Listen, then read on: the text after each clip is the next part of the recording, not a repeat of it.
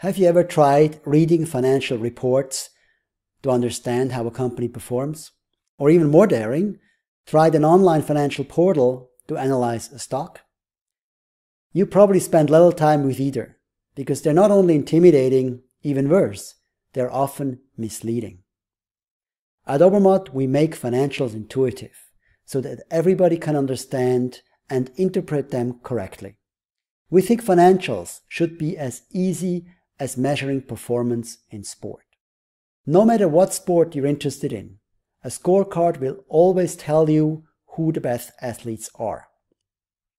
Even if you don't know anything about that sport, the scorecard will help you identify the best performances. It's the same at Obermatt.com for financials. The higher the Obermatt rank, the higher the company performs in that financial metric.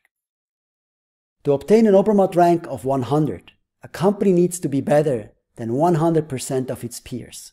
This means the company needs to be better than other companies that sell similar products, operate in similar markets, and use similar suppliers.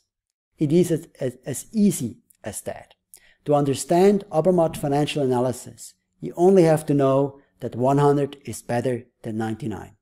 So go to obermatt.com and find the stock that ranks highest on the criteria you're interested in. Enjoy.